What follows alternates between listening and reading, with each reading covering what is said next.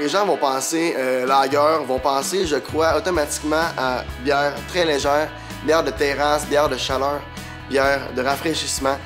Petite bière facile à boire, disons-le comme ça aussi.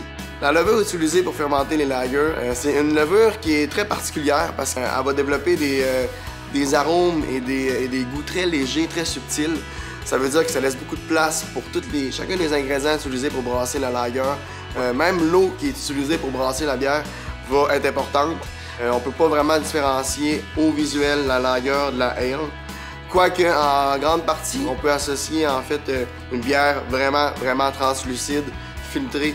Euh, on peut, on peut, on peut s'avancer à dire peut-être que c'est davantage une lager qu'une ale. Euh, c'est vraiment le fun. C'est vraiment une bière qui est facile à boire, qui se veut légère, qui se veut rafraîchissante.